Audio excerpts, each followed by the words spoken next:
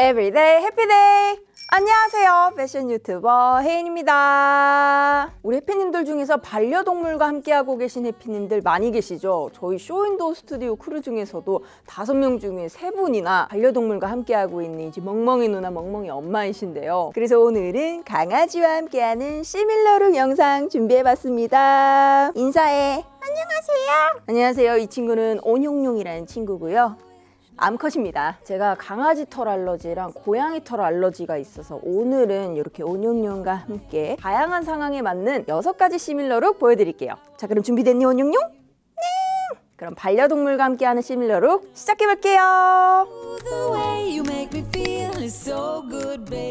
제가 입고 있었던 앵두앵두 세트 세트부터 볼까요? 집안에서도 집 밖에서도 어디에서나 입기 좋은 니트룩. 앵두 니트가 생각보다 넉넉한 느낌은 아니라서 저는 니트를 맨투맨처럼 입고 그 위에 오버롤을 입어줬어요. 니트의 바탕 컬러가 아이보리로 튀는 느낌이 아니라 코듀로이 소재나 무난한 바지들과 함께 매치하기도 좋더라고요. 온용용이 입은 니트는 등 부분에서 잠그는 니트 가디건 형식이라 입히고 벗기기 편했고 길이감이 살짝 있어서 허리가 긴 친구들한테 특히 잘 맞을 것 같았어요. 앵두의 크기는 다르지만 도안이 같은 건가 봐요. 모양이 거의 똑같아서 다른 곳에서 각자 구입했는데도 완벽하게 세트 같아서 더 예쁘더라고요. 역시 이렇게 맞춰 입으면 기분이 좋네요.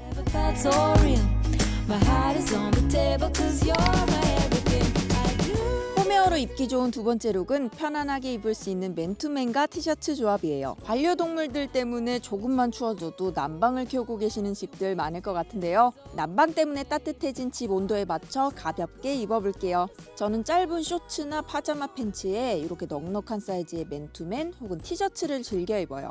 온몸을 다 가리는 느낌의 파스텔 무지갯빛의 맨투맨을 입었고 온용용은 실내기 때문에 가벼운 티셔츠를 입혔어요. 완전히 똑같은 컬러나 배색은 아니지만 느낌 얼추 비슷하지 않나요?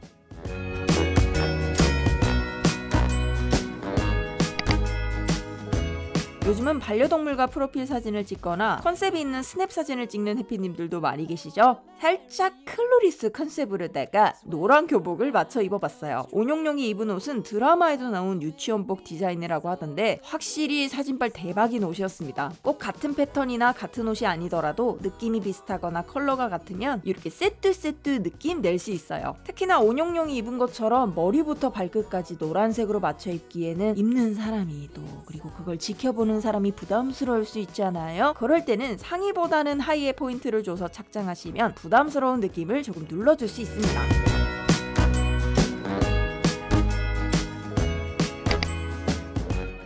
회사에 다녀오자마자 온용용이 산책 가자고 난리네요. 회사 다녀온 그대로의 애기 옷만 입혀서 산책 나가볼게요. 네카라 제품들은 아이들 목둘레에만 맞으면 크게 불편하지 않게 착용할 수 있는 제품이에요. 카라 안쪽에는 옷이 돌아가지 않도록 목에 끼울 수 있는 동그란 고무줄이 들어있었는데 저희 온용용은 굉장히 정적인 아이라 고무줄 끼지 않고 그대로 입혔습니다.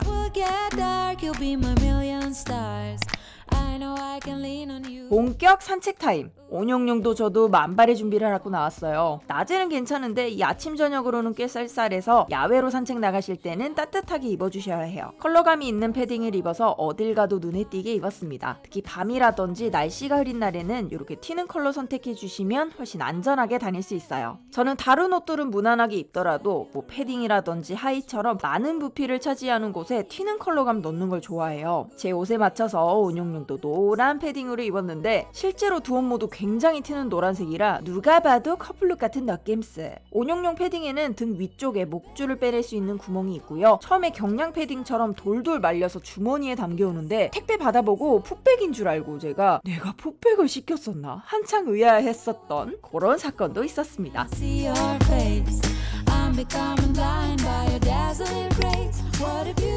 마지막은 가장 하이라이트. 제가 이 기획을 만들게 된 의상입니다. 이렇게 똑같은 원단과 똑같은 컨셉으로 반려견 옷과 사람 옷이 나오다니.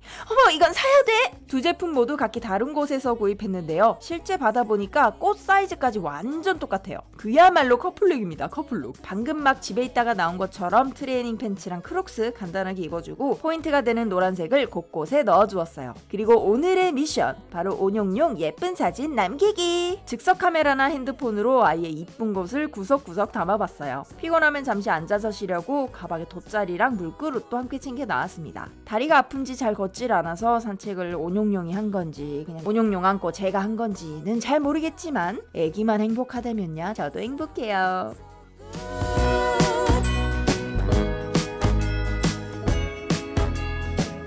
자 이렇게 해서 온용용과 함께 총 6가지의 시밀러로 보여드렸는데요. 여기서 그냥 가면 너무 섭섭하죠. 지금 제가 입고 있는 이 체리 가디건 그리고 지금 온용용이 입고 있는 이 앵두니트 해피님들 사랑하는 반려동물과 함께 입으실 수 있게 이벤트 선물로 보내드리려고 합니다. 댓글로 간단하게 감상평과 함께 강아지 이모티콘 남겨주시면 이모티콘 남겨주신 해피님들 중 한 분을 선정을 해서 제가 입고 있는 앵두 가디건 그리고 온용용이 입고 있는 이 니트 가디건 세트로 함께 보내드릴게요. 오늘 영상도 재밌게 보셨다면 구독과 좋아요, 알람 설정 부탁드리고요. 앞으로도 더 다양한 패션 정보 담은 영상들로 찾아올 예정이니까 우리 다음에도 꼭 만나요. 그럼 안녕!